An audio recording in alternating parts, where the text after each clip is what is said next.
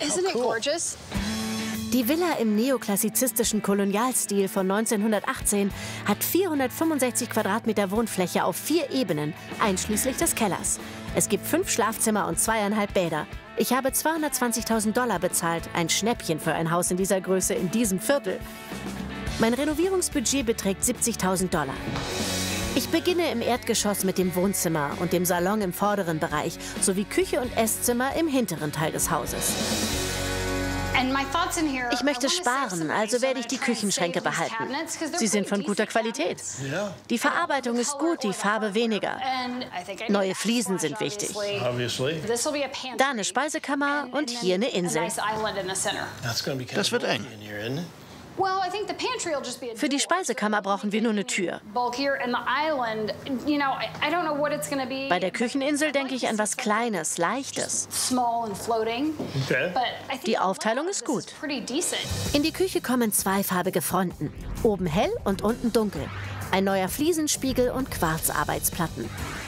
Außerdem werden wir eine Speisekammer für mehr Stauraum einbauen, die Böden austauschen und eine kleine Insel in der Mitte platzieren. Hier haben wir diese bezaubernde Frühstücksecke, so etwas wie ein Bonusraum. Und das sind noch die historischen Einbauschränke. Welch ein Chaos. Weiß ich. Ich möchte das Sideboard streichen, neue Beschläge und eine neue Arbeitsplatte anbringen.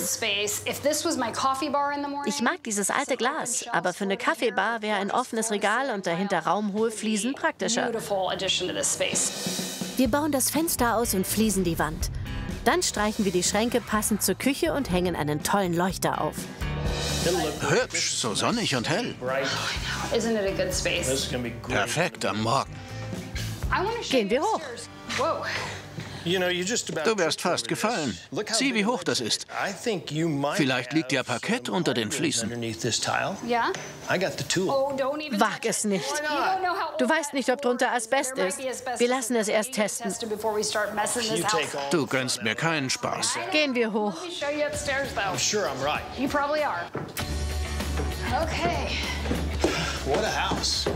Die ganzen Holzarbeiten. So schön. Der Treppenabsatz ist fantastisch. Ein Riesenhaus. Es gibt fünf Schlafzimmer und hier ist eins der Bäder. Es gehört zum Kinderzimmer. Wir machen es robust und pflegeleicht. Ins Bad der Kinder kommen eine Duschwanne und ein neuer Waschtisch. Die Wände fließen wir in warmen Farben. So wird's funktional und schön. Aus dem kleinsten Zimmer mache ich eine Waschküche. Mir gefallen die Türen mit den Oberlichtern. Hier plane ich die Waschküche. Auf der anderen Seite ist ja das Bad, sodass die notwendigen Wasseranschlüsse nicht neu gelegt werden müssen. Waschmaschine und Trockner stellen wir hierher. Eine besondere Tapete, dazu ein paar Schränke, fertig. Natürliches Licht hat sie auch.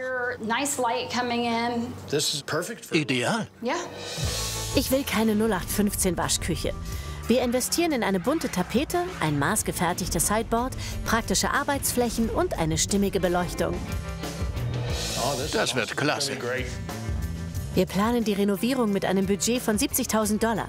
30.000 brauchen wir für die erste Bauphase. Die erste Bauphase bestand vorwiegend aus kosmetischen Reparaturen. Wir haben viele historische Details bewahrt, wie die alten Fenster und die Holztäfelungen, aber auch moderne Akzente gesetzt. Die Küchenfronten sind zweifarbig lackiert.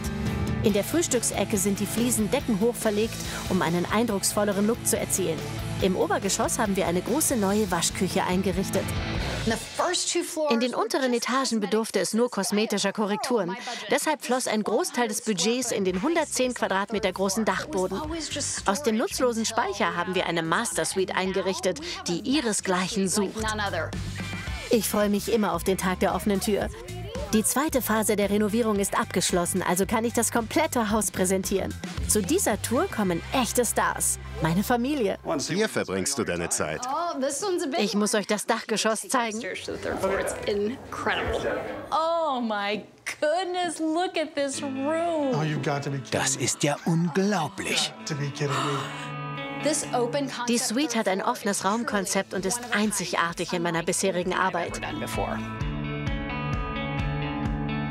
Oh my gosh. Wow. beautiful. Das Bad ist wirklich was Besonderes geworden. Die Fliesen. Wir haben die Wände der Gaube inklusive der Decke gefliest. Davor haben wir die Wanne gestellt. Ihr Weiß und die geschwungene Form vor den blauen Fliesen ist ein toller Blickfang. Aber auch die riesige Doppeldusche kann sich sehen lassen.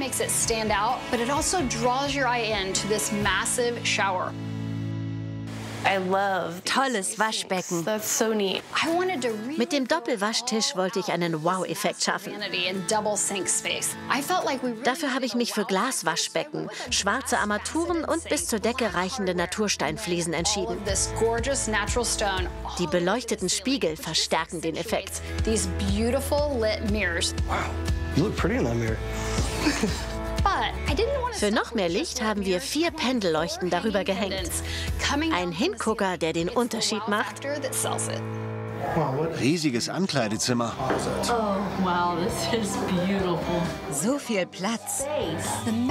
Der begehbare Kleiderschrank ist riesig. Wir haben so viel Platz in dieser Etage.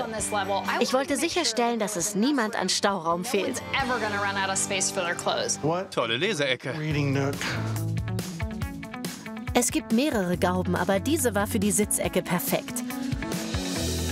Wir haben auch hier maßgefertigte Fenster eingebaut und einen gemütlichen Rückzugsort zum Lesen oder Kaffeetrinken geschaffen. Die Tour hat mein Dad aufgearbeitet und ich finde, sie ist wirklich toll geworden. Die Suite hat alles, was man sich wünscht. Man könnte eine Kuschelecke machen. Okay, ready? ist die Tür? Frag Mama. Du wirst eine gute Designerin. Und schließlich der Schlafbereich. Ein Refugium. Das Besondere ist die Backsteinmauer. Die haben wir unverputzt gelassen. So ist es historisch stimmiger. Tolle Fenster. Die Fenster sind der optische Mittelpunkt der Etage. Wie schön. Mit den Scheiben aus der Frühstücksecke konnten wir ein weiteres altes Element aus dem Haus erhalten. Riesiges Suite. Die 110 Quadratmeter Wohnfläche bringen einen großen Mehrwert.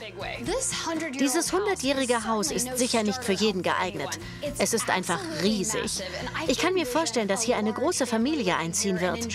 Es wird sich schnell verkaufen.